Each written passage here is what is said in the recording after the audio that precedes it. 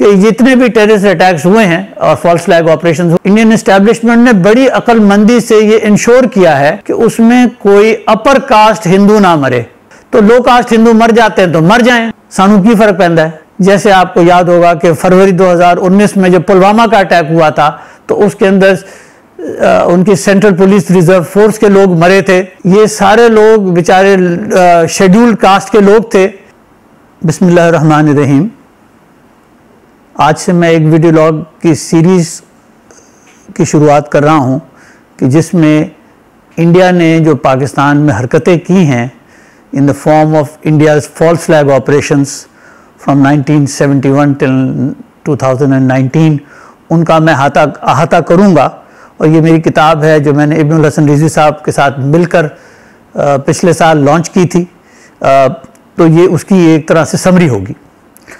चलिए आइए बात को शुरू करते हैं कि सबसे पहले तो हमें इस बात का हम सबको अंदाज़ा है और पता भी है कि हिंदुस्तान ने पाकि और हिंदुस्तानी लीडरों ने कभी पाकिस्तान की की मौजूदगी को बर्दाश्त नहीं किया है।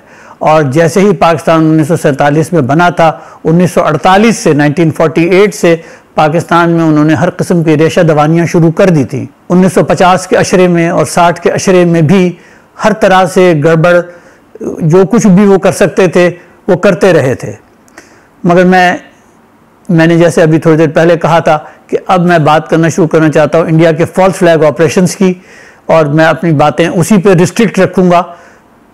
सबसे पहला जो फॉल्स फ्लैग ऑपरेशन इंडिया ने किया था, वो 1971 में किया था, जनवरी 1971 जब इंडिया, इंडियन एयरलाइंस का एक पुराना फोकर प्लेन था by the name of Ganga which was hijack to Lahore and उसके बाद से ये प्रोसेस मुसलसल चलता रहा है ताकि फरवरी 2019 में पुलवामा का अटैक हुआ जो मुझे यक, मुझे यकीन है कि आप सबको अभी भी याद होगा। हिंदुस्तान ने ये फॉल्स फ्लैग ऑपरेशंस इस तरह से प्लान किए और बड़ी मुस्तैदी से इनको इम्प्लीमेंट किया है पिछले 20 साल में खसूसी तौर पर और उनका मकसद ये रहा है कि किसी के अपने ही मुल्क में कोई टेररिस्ट अटैक किया जाए, यानी कि हिंदुस्तान में ही कोई टेररिस्ट अटैक किया जाए, और जैसे ही वो अटैक हो, उसको पाकिस्तान पर ब्लेम कर दिया जाए, और हिंदु जो इंडियन इस्टेब्लिशमेंट अपने एजेंट्स के थ्रू ये अटैक करवाती, और उसके फ़ौर ही बाद इंडियन प्राइम मिनिस्टर साहब खड़े हो जा होते, और वो पाकिस्तान को पर इल्ज़ाम लगा देते कि ये जो टेररिस्ट एक्ट हुआ है, इसको पाकिस्तान ने करवाया है।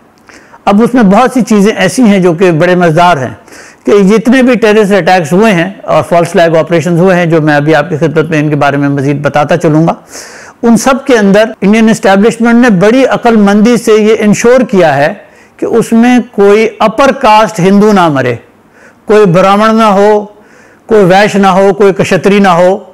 जितने लोग मरे, वो लो कास्ट हिंदू हो शूदर हरिजन, इस किस्म के लोग। कोई वीआईपी ना मरे कोई जर्नलिस्ट ना मरे और कोई फॉरेनर ना मरे। अगर ये लोग अपर कास्ट हिंदू या जर्नलिस्ट या फॉरेनर मरेगा तो उसकी इन्वेस्टिगेशन भी ठीक से करनी पड़ेगी और उसके अंदर आ, कुछ इंटरनेशनल एजेंसीज भी शामिल हो जाएँगी जो हिंदुस्तान को कभी एक्सेप्टेबल नहीं होता। तो लो कास्ट हिंदू मर जाते हैं तो मर जाएँ। सानू की फ़र्क पैदा है? वाली बात है जैसे आपको याद होगा कि फरवरी 2019 में जब पुलवामा का अटैक हुआ था तो उसके अंदर उनकी सेंट्रल पुलिस रिज़र्व फोर्स के लोग मरे थे। ये सारे लोग बेचारे शेड्यूल्ड कास्ट के लोग थे और बैकवर्ड एरियाज़ ऑफ़ यूपी और बिहार के गाँव से आए हुए थे। उन लोगों का क्या हुआ? उनको कहाँ दफनाया गया? उनको क्या, उनके लवाकिन को क्या कॉम्पनसेशन की गई? उसके बारे में तो हिंदुस्तान के किसी मीडिया ने कभी कोई ज़िक्र ही नहीं किया। तो ये ना, और इस सारी चीज़ को करने का मकसद ये मुसलसल रहा है कि पाकिस्तान को दुनिया के सामने बहसीत एक टेररिस्ट मुल्क दिखाया जाए। और इन ऑर्डर इस सिलसिले में जो एक बहुत ही ज़्यादा गड़बड़ वाली बात होती है कि अमेरिका और यूरोप, ये फिर हिंदुस्तान को अपीज़ करने के लिए, खुश रखने के लिए वो पाकिस्तान को मजबूर करते हैं कि वो हिंदुस्तान के नैरेटिव को एक्सेप्ट करे और माने कि पाकिस्तान ने ये टेररिज्म का अटैक किया है। और ये क्यों करते हैं ये अमेरिका और यूरोप? क्योंकि हिंदुस्तान की बहुत बड़ी कमर्शियल मार्केट है। हिंदुस्तान बहुत डिफेंस इक्विपमेंट भी उनसे खरीदता है और वो हिंदुस्तान को इस्तेमाल करते हैं अगेंस्ट चाइना ऑल्सो तो इन तीन वजूहत की बिना पर ये सारी ममालिक अमरीका, यूरोप ख़ासतौर पर पाकिस्तान पर प्रेशर डालते हैं हर अटैक के बाद कि पाकिस्तान हिंदुस्तान की पोजीशन को एक्सेप्ट करे। आपको शायद याद होगा कि फरवरी 2019 के पुलवामा अटैक के बाद भी अमेरिका ने फ़ौरन ये बात कही थी कि पाकिस्तान को चाहिए कि वो इस किस्म की हरकतें ना करे और इस किस्म की हरकतें अपने इलाकों से ना होने दे। भाई, तुझे पता कैसे चला कि ये पाकिस्तानी थे? मगर इससे पहले कि तुम्हें ये पता चलता और कोई इंटरनेशनल इन्वेस्टिगेशन होती, आपने ये कह दिया। क्योंकि आप चाहते हैं कि मैं हिंदुस्तान को खुश रखूँ।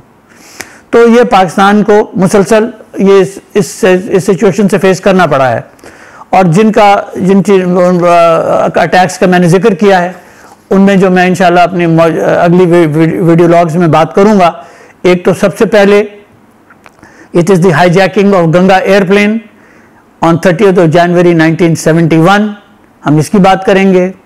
उसके बाद number two India parliament attack which happened on December 13 2001 उसके अगले वीडियो लॉग में हम बात करेंगे गोधड़ा की ट्रेन में आरसन हुआ था और उसके बाद गुजरात में मोदी ने कार्नेज किया था। ये बात हो रही है 2002 की फरवरी की और उसके बाद फिर समझौता एक्सप्रेस का आरसन हुआ था, जिसमें 41 पाकिस्तानी मरे थे। उनको ज़िंदा जलाया गया था। ये बात हो रही है फरवरी 2007 की। उसका अगला है मुंबई के अंदर अटैक हुआ विच वॉज़ इन नवंबर 2008 उसके बाद पठानकोट का इंसिडेंट हुआ था इन जनवरी 2016 उसके बाद उड़ी के अंदर अटैक हुआ था सितंबर 18 2016 फिर पुलवामा का अटैक हुआ। तो ये आठ फॉल्स फ्लैग ऑपरेशन बनते हैं। हर एक फॉल्स फ्लैग ऑपरेशन के बारे में मैं इंशाल्लाह आने वाली अगली वीडियो रॉग्स में आपकी खिदमत में इसकी डिटेल्स पेश करूँगा। Thank you